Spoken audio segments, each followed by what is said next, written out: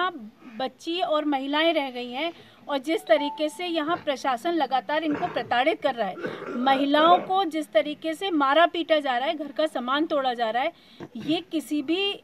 आज तक के इतिहास में प्रशासन का इतना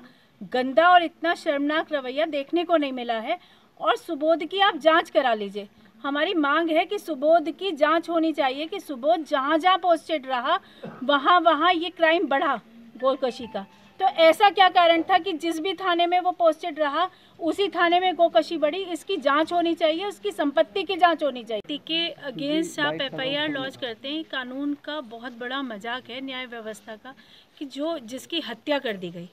उस बच्चे के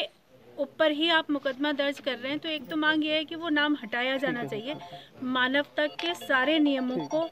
प्रशासन ना तोड़े